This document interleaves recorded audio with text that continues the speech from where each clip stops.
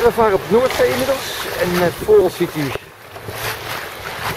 Costa Gulliver. En we passeren inmiddels de Regulus. De Regulus is het, het historische wrak wat hier ligt. En wat eigenlijk ook de ingang aangeeft van de eilanden Ballig tussen het Simonszand en de oostpunt van Schiermonnikoog.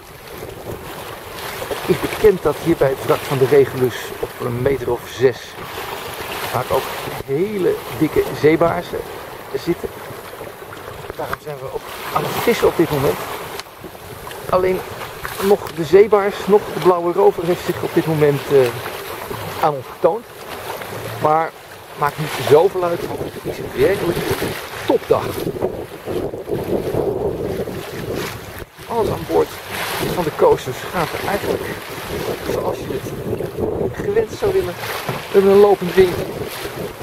We een zachte deining die eigenlijk net aanvoelt en net niet tips van de neus doet worden.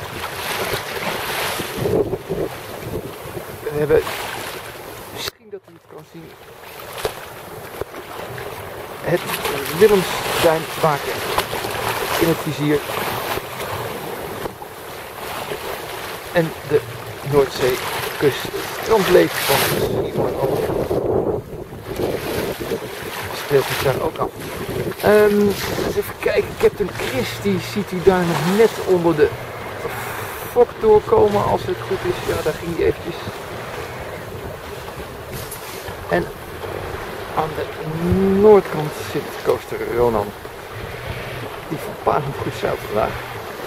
Nou zeilt hij natuurlijk altijd wel hartstikke goed, maar het is opvallend om te zien dat ook zonder uitboommaterialen uh, Ronan gewoon uh, ja, voor in het veld vaart.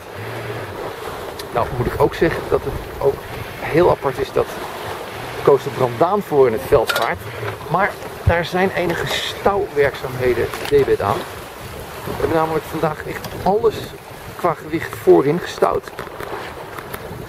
Omdat uh, we wisten dat we een beetje een lopend windje zouden krijgen, zodat hij constant ver uit het water zou komen. En, uh, maar het, is ook opvallend omdat meestal het vissen toch een, een halve knoop scheelt. Nou ja, Brandaan heeft er zin in vandaag. We hebben er eigenlijk allemaal zin in. Het is een totale topdag. Dit is Coaster Brandaan vanaf de Noordzee boven Schiermonnikoog.